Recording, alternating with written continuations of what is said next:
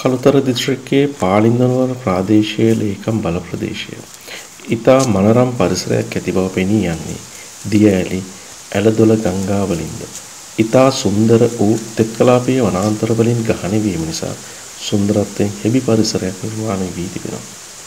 මේ ගම්වල ජීවත් වෙන මිනිස්සු ජීවනෝපාය වෙලා තියෙන්නේ මේ කැලෑවම කියලා දැක ගන්න තිනත ලංකා ටීවී අපට හැකි වුණා.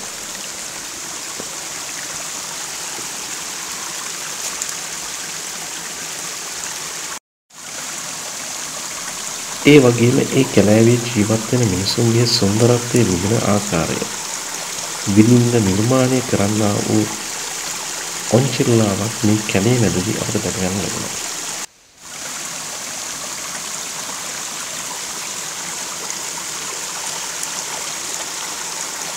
මේ ඔන්චිල්ලාව නිර්මාණය කරේ කවුරුන්ද කියලා අපි දන්නේ නැහැ. නමුත් අපි මේ ගමන් කරන මාර්ගයේදී අපට දැක ගන්න ලැබුණු දෙයක් තමයි මේ ඔන්චිල්ලාව.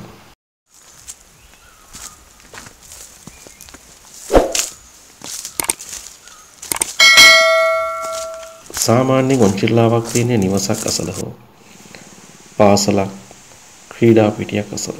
නමුත් මේ ඔන්චිල්ලාව හදලා තියෙන්නේ කැලයක් මැද.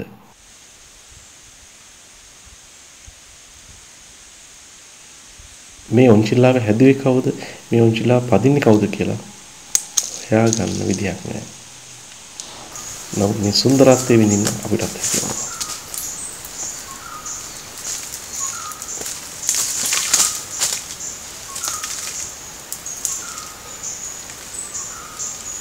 කැලේ මැද සුන්දර ඔන්චිල්ලාවක්.